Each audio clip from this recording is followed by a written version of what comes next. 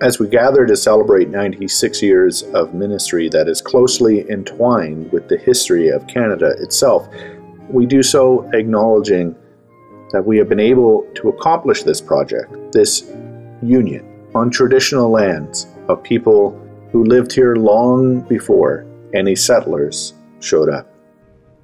The United Church was inaugurated on June 10, 1925, in Toronto, Ontario, when the Methodist Church, the Congregational Union of Canada, and 70% of the Presbyterian Church of Canada entered into a union. Also joining was a small General Council of Union churches centered largely in Western Canada.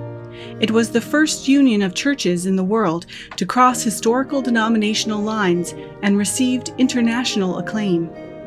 Each of the founding churches had a long history in Canada prior to 1925. The movement for church union began with a desire to coordinate ministry in the vast Canadian Northwest and for collaboration in overseas missions. Congregations in Indigenous communities from each of the original denominations were an important factor in the effort toward church union. The United Church of Canada continues to be a uniting church and has been enriched by several additional unions since 1925. In 1930, the Synod of the Wesleyan Methodist Church of Bermuda became part of the United Church of Canada's Maritime Conference. The Evangelical United Brethren Church became part of the United Church of Canada in 1968. In addition, various individual congregations from other Christian communions have become part of the United Church over the years. Today, the United Church ministers to over 2 million people through about 3,000 communities of faith or congregations. In April and May, ministry personnel from across the United Church of Canada joined together in song. Almost 70 singers sent in videos. Musicians from across the church and the Prince George Conservatory of Music created the accompaniment track. Together, we offer you this gift from ministry personnel to the church that we love so much.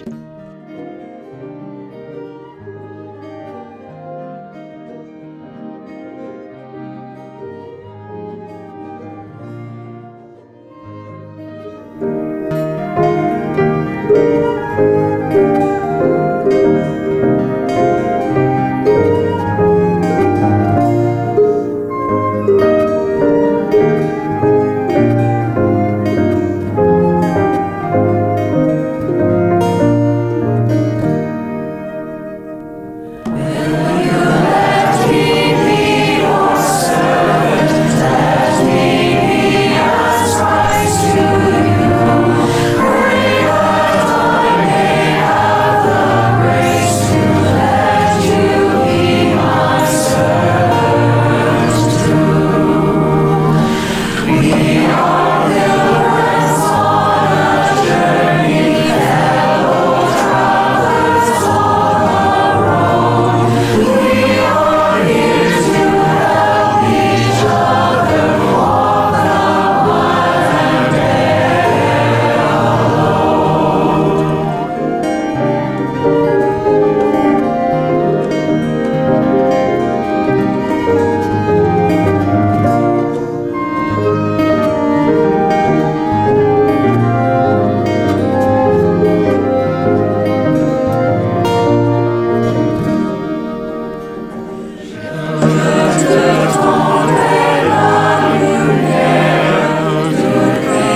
Amen.